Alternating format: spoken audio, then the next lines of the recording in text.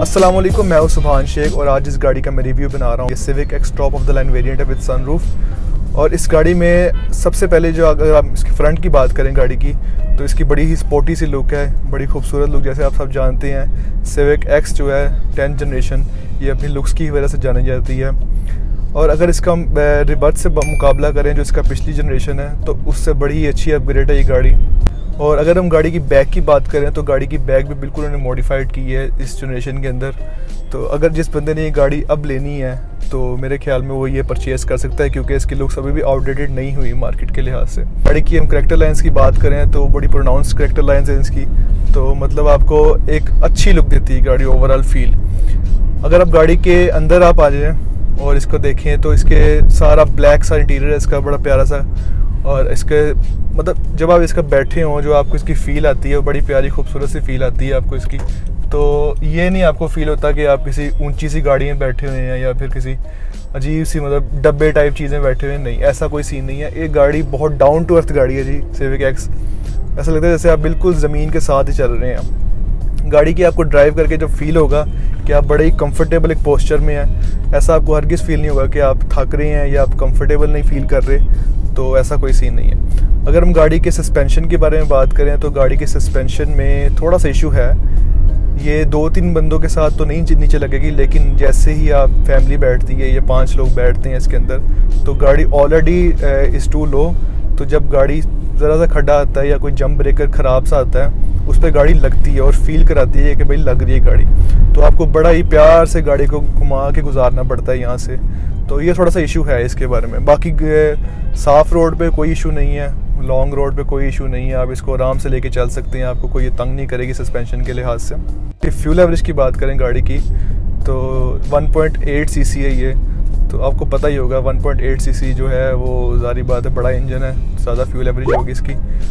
अगर आप सिटी में विद एसी की बात करें तो आपको ये आराम से दे देगी, आठ से नौ एवरेज दे देगी। इस वक्त ये 8.9 एवरेज दे रही है गाड़ी।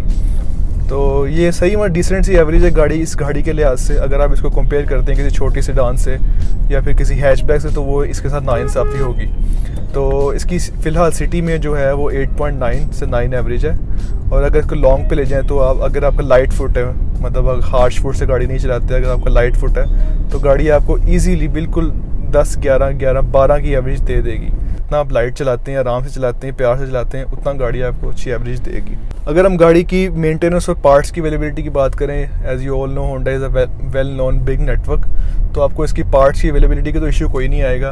अलबत्त अगर आपने इसकी प्राइसेस की बात करें पार्ट्स की तो इसकी पार्ट्स के प्राइसेस हैं, वो काफ़ी एक्सपेंसिव हैं। इसका कंपेरेटर जो है करोला उससे हम गाड़ी के अगर प्राइसेस की कंपेयर कंपेरिजन करें तो कंपेरेटिवली इसकी प्राइसेस पार्ट्स की ज़्यादा हैं। आपको मार्केट में इसकी लाइट्स हेडलाइट्स बम्पर्स वगैरह जितने भी इसकी जो एक्सेसरीज़ हैं, उनकी आपको प्राइस ज़्यादा मिलेगी कंपैरेटिवली तो ये एक वेल नोन सबको पता है कि होंडा के पार्ट्स महँगे ही होते हैं तो लेकिन पार्ट्स की अवेलेबिलिटी के लिए आपको कोई इशू नहीं होगा इन ताला.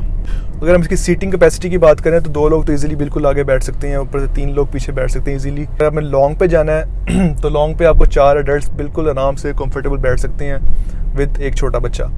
लेकिन अगर आपने सिटी में लॉन्ग पे आपने फैमिली को लेके जाना है फॉर एग्ज़ाम्पल छः लोग हैं आपके तो आपको थोड़ा सा इशू आएगा इसमें। लेकिन कोई ऐसा मसला नहीं है, गाड़ी जो है वो आपको फील करवाएगी कि मैं लग रही हूँ, लेकिन अंडर पावर गाड़ी आपको फील नहीं होगी। अगर हम गाड़ी के प्रोज एंड कॉन्स के बारे में बात करें, आए जाए सर आप निकल जाएँ। अगर हम गाड़ी के प्रोज एंड कॉन्स की बात करें तो सबसे बड़ा गाड़ी का एडवांटेज है वो ये है कि ये अंडर पावर आपको कभी फील नहीं होगी गाड़ी। तो ड्राइव इसकी pick throttle response everything is very much perfect और अगर थोड़ी गाड़ी का जो कौन है, मुझे वो ये लगता है कि सस्पेंशन के हवाले से अगर बड़ी फैमिली है आपकी तो वो नीचे गाड़ी लगेगी, आपको फील होगी लगना इसका। और दूसरा जो इसका कौन है, वो है इसकी पार्ट्स की जो प्राइसेस हैं, वो काफ़ी expensive on the higher note है। तो जिसने सिविक एक्स लेनी है, वो अभी भी ये समझ ले या फिर जान ले कि पार्ट्स इसके अभी भी मार्केट में बहुत महँगे हैं। तो आपको काफ़ी ज़्यादा इसका पे करना पड़ेगा। तो अब इसका हम देखते हैं जी ज़ीरो टू हंड्रेड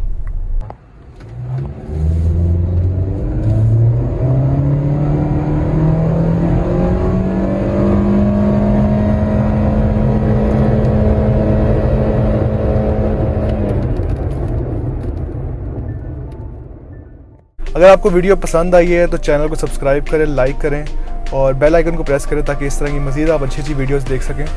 तो मुझे दे इजाज़त, मैं नेक्स्ट वीडियो के साथ आपके साथ हाजिर हूँ तब तक के लिए अल्लाह हाफिज़।